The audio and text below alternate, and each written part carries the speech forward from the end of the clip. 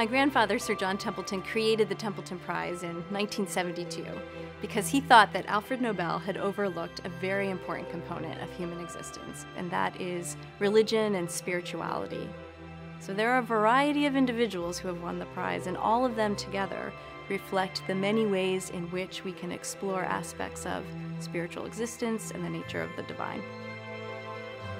It is a distinct honor and a great joy to announce the winner of the 2019 Templeton Prize, Marcelo Gleiser, theoretical physicist, cosmologist, and a leading proponent of the view that science, philosophy, and spirituality are complementary expressions of humanity's need to embrace mystery and explore the unknown. A native of Brazil, where his books are bestsellers and his television series draw audiences in the millions, he is the Appleton Professor of Natural Philosophy and a professor of physics and astronomy at Dartmouth College in Hanover, New Hampshire. Professor Gleiser embodies the values that inspired Sir John Templeton to establish the Templeton Prize and to create the John Templeton Foundation. Sir John was intensely interested in the connections between joy and purpose, joy and gratitude, and even joy and the scientific process. Professor Gleiser's work displays an undeniable joy of exploration.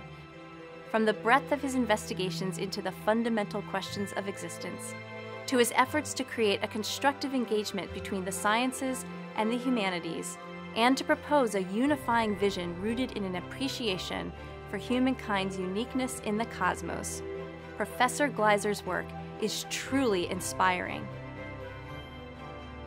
I'm deeply honored and humbled to be this year's recipient of the Templeton Prize. The path to scientific understanding and scientific exploration is not just about the material part of the world. And my mission is to bring back to science and to the people that are interested in science this attachment to the mysterious, to make people understand that science is just one other way for us to engage with the mystery of who we are. And to be this kind of ambassador fills me with pride and with humility.